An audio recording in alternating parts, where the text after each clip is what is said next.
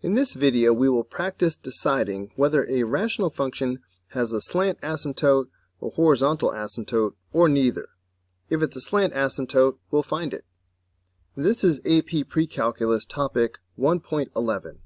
If you appreciate this content, please show it by hitting the like button.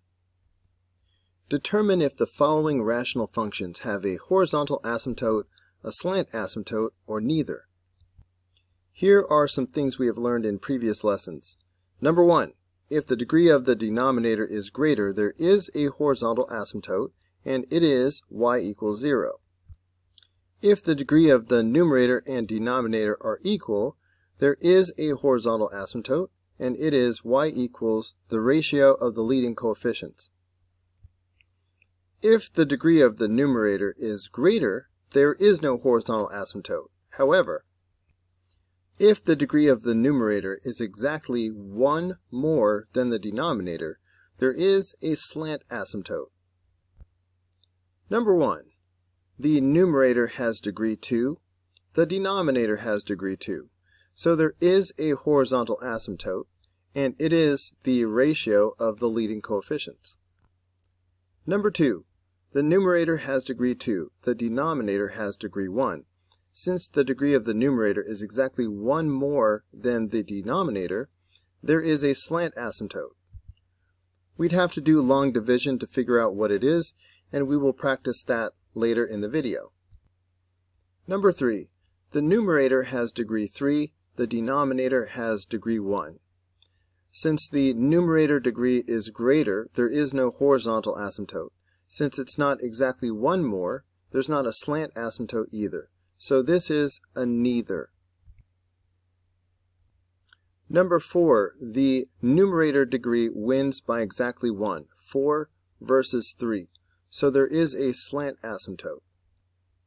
Number 5. The numerator has degree 2, the denominator has degree 3. Since the denominator has the greater degree, there is a horizontal asymptote, and it is y equals 0. For number 6, we need to figure out what the leading terms are. So, ignoring the negative 2 and the plus 2, we have x squared times 3x squared. So that's 3x to the fourth power. That will be the leading term of the numerator. In the denominator, the plus 1 and the minus 5 will not matter. So we are left with x times x times x, which is x to the third power. That's the leading term of the denominator. Since the numerator degree is exactly one more than the denominator, there is a slant asymptote. For each rational function below, use long division to find the equation of the slant asymptote. Notice that in each case, the degree of the numerator beats the degree of the denominator by exactly 1. Set up your long division like this. Begin by dividing the leading term of the numerator by the leading term of the denominator. x squared divided by x is x. Line that up. Now multiply. Take the x and multiply times x minus 1. x times x is x squared. x times negative 1 is negative x. Then subtract. These cancel out. Negative 6x minus negative x is really negative 6x plus x, so that's negative 5x. And bring down the plus 7 and start over. Divide negative 5x by x, and you get negative 5. Line that up. Now multiply. Negative 5 times x is negative 5x. Negative 5 times negative 1 is positive 5.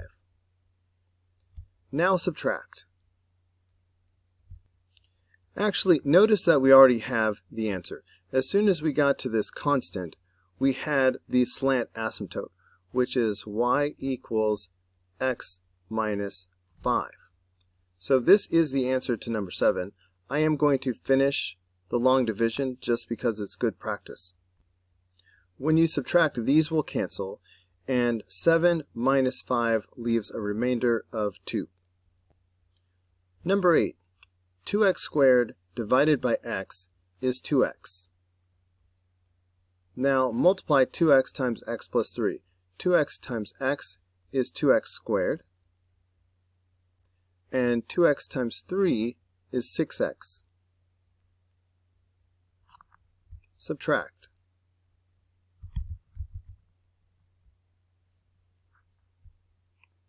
These cancel. Negative x minus 6x is negative 7x. And bring down the 4. Now divide negative 7x by x, and that leaves negative 7. Right there, this is the answer to number 8. The slant asymptote is y equals 2x minus 7, but I'm going to finish the long division. Take your negative 7 and multiply times x plus 3. Negative 7 times x is negative 7x. Negative 7 times 3 is negative 21. Then you would subtract. These cancel. And then 4 minus negative 21 is like 4 plus 21, which is 25. And that would be the remainder. Number 9, x to the third power divided by x squared is x, which I'm going to put way over here, lining it up. Now I multiply x times this trinomial. x times x squared is x to the third power. x times negative 2x is negative 2x squared. And x times 5 is 5x. And then I am going to subtract this. These cancel out. Negative 4x squared minus negative 2x squared is like negative 4x squared plus 2x squared, which is negative 2x squared. 3x minus 5x is negative 2x. And then bring down your minus 1. Start over with the division process. Negative 2x squared divided by x squared is negative 2. And right there, kabam! This is the answer to number 9, or it leads directly to the answer to number 9, which is a slant asymptote of y equals x minus 2. But let's finish the long division just for practice. You take that negative 2 and you multiply. Negative 2 times x squared is negative 2x squared. Negative 2 times negative 2x is positive 4x. And negative 2 times 5 is negative 10. And then you would subtract. These cancel. Negative 2x minus 4x is negative 6x. And negative 1 minus negative 10, that's like negative 1 plus 10, so that's positive 9. For number 10, notice that the numerator is missing the x term, so I'm going to put in a placeholder term of 0x. Now let's divide 2x to the third power by x squared. That's going to leave 2x, which I'm going to put right here over my placeholder. Now take the 2x and multiply. 2x times x squared is 2x to the third power. 2x times x is 2x squared.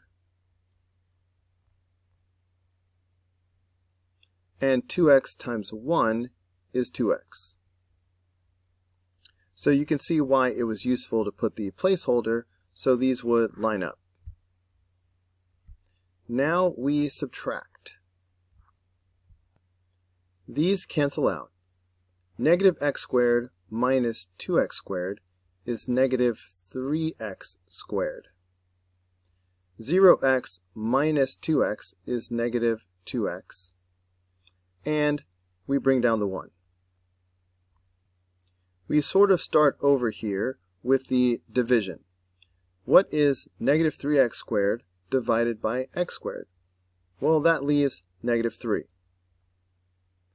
And as soon as you write that constant, you know the slant asymptote. For k of x, the slant asymptote is y equals 2x minus 3. But let's finish off the long division just for good practice. Take that negative 3 and now multiply.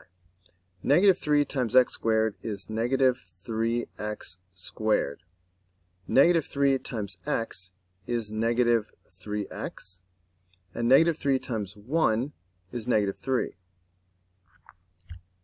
Then you would subtract.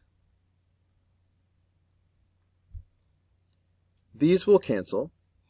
Negative 2x minus negative 3x. That's like negative 2x plus 3x, which is simply x. 1 minus negative 3. That's like 1 plus 3, so that's 4. And that's the remainder. Hey guys, don't forget to like and subscribe.